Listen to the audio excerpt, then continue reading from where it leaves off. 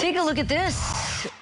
This is the view that a man got. Wow, when he checked out, uh, checked into his hotel room in San Francisco. It's a mural. That's the view. It's beautiful. Yes. That I'd like that out my window. Good enough. It's different than what was advertised on the website, but that's okay. It looked perfect on Expedia. Yeah. Um, fortunately, the Indiana guy wasn't too upset about it. He looked out and said, "Well, the fake view is funny," and uh, I guess he enjoyed it. So I, I guess it was worth it. Uh, I wow. So he was fooled into thinking that that was actually the view. Yeah.